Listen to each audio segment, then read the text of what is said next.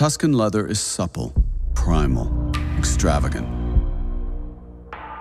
Deep and animalistic, night blooming jasmine and black suede bring a distinctive texture that is raw yet refined.